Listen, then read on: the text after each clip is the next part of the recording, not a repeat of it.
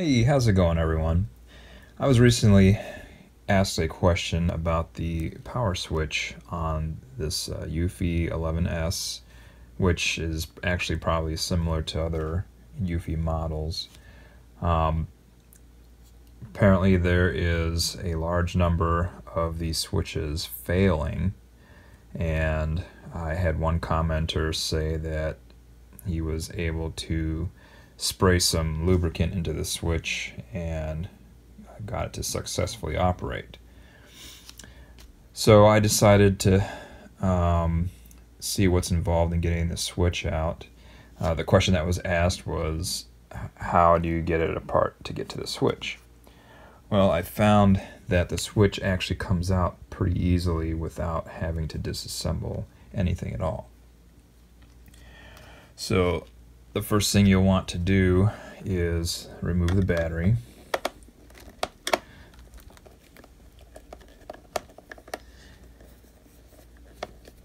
That'll ensure that when you take these wires loose, you won't accidentally short them to anything internal to the vacuum cleaner. Apologize. I don't have the right screwdrivers. It's taking a little bit of work to get it out. Alright.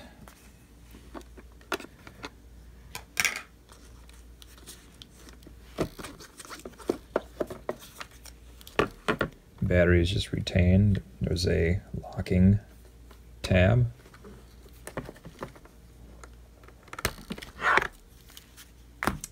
Always remember, remove watches and rings.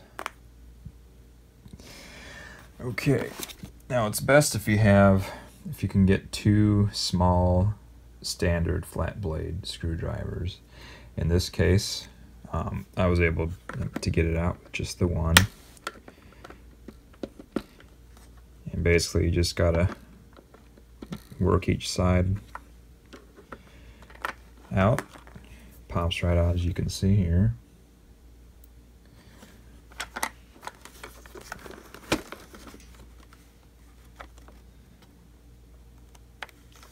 This is a, a single pole, single throw switch.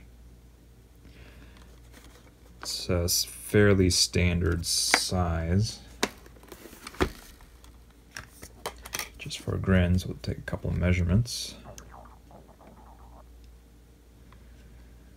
So it looks like we're at 16.92 millimeters wide by 12.1 millimeters depth. I'm sorry, thickness and depth is approximately, well, let's do this right.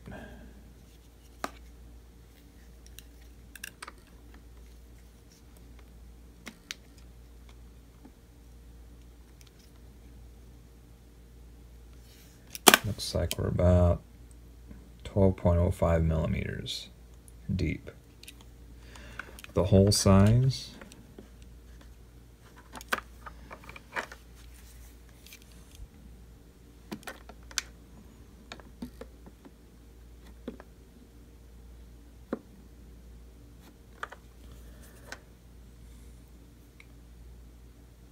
19.11 millimeters long.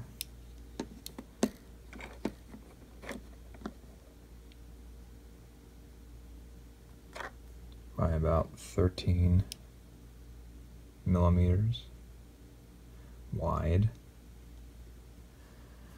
So as long as you look for those numbers when you're looking for a replacement switch, you should be all right.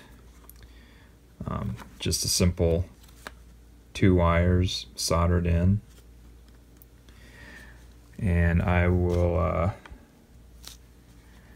see.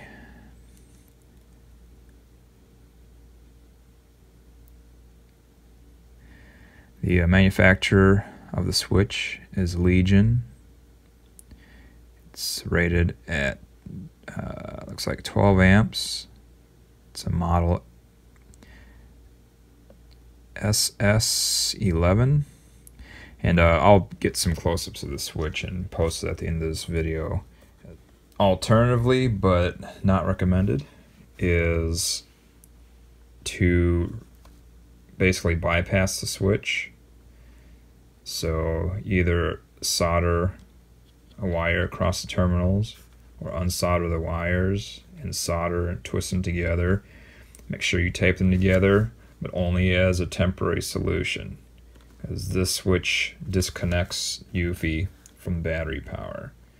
So if something were to happen with the battery, say it catches fire, you're going to want a quick way to be able to shut that off. And without a switch, you're not going to be able to do that. So I do not recommend bypassing. Now if you need a new switch, I highly recommend DigiKey. I was able to find a close match to the switch. This is their part number. It was 92 cents and about $5 to ship, which isn't a bad price. You can see that it's black instead of red, but it functions the same. The only other difference is the terminals are turned about 90 degrees different than this one, which uh, again makes no difference. There's plenty of room on the inside for any configuration you can find. The important part is getting the dimensions correct. Now, these terminals are soldered on. If your soldering skills aren't up to par, you can always use these uh, uh, Sta-Con or spade connectors and crimp them onto these wires, but soldering is always the best bet.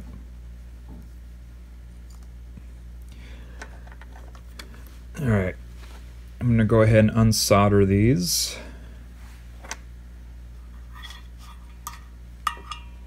Trusty Weller. There's a chance that you'll lose these wires on the inside. So be careful not to let them go.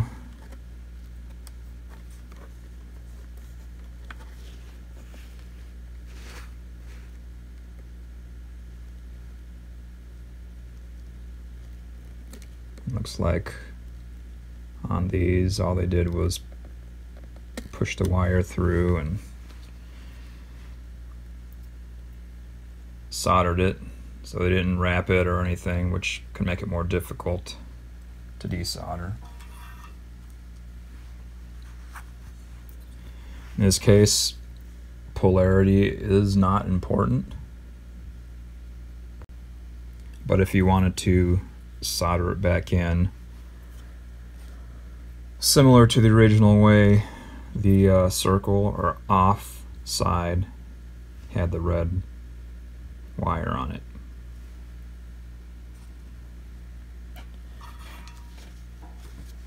I'm going to pre-tin the new switch.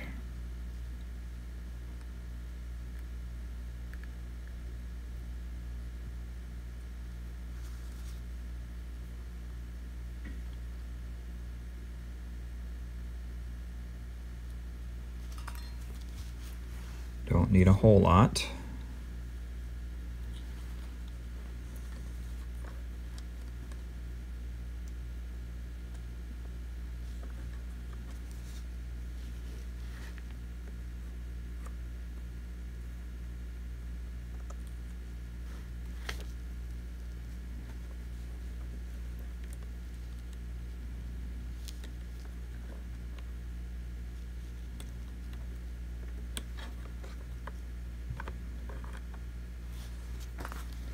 Sometimes it helps to have an extra set of hands, but otherwise, got to make do with what you got.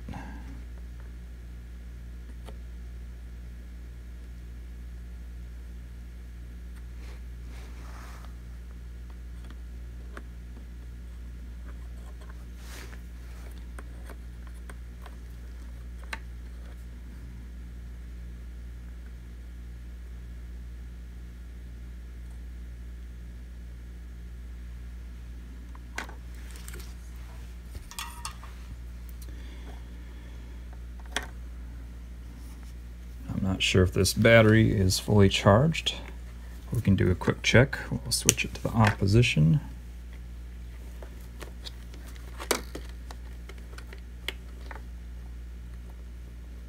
Plug the battery back in.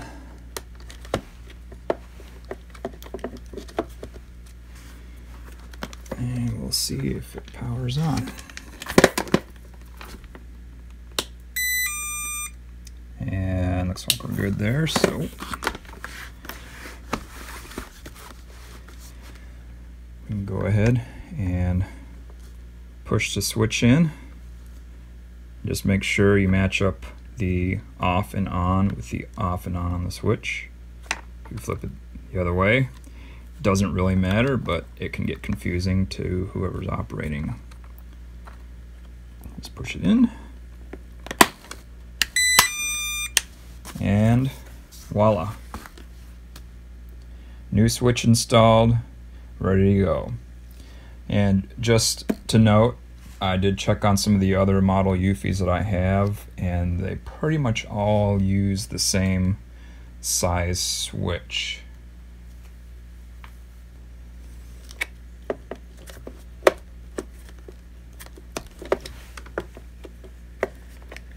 And once we are all back together,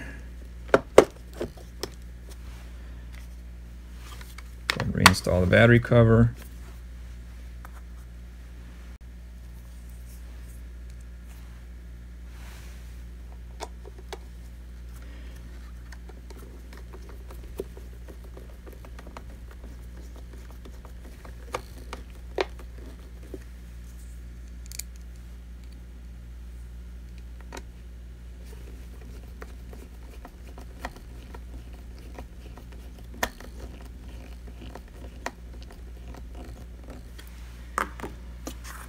Once it's all complete, you're ready to rock and roll.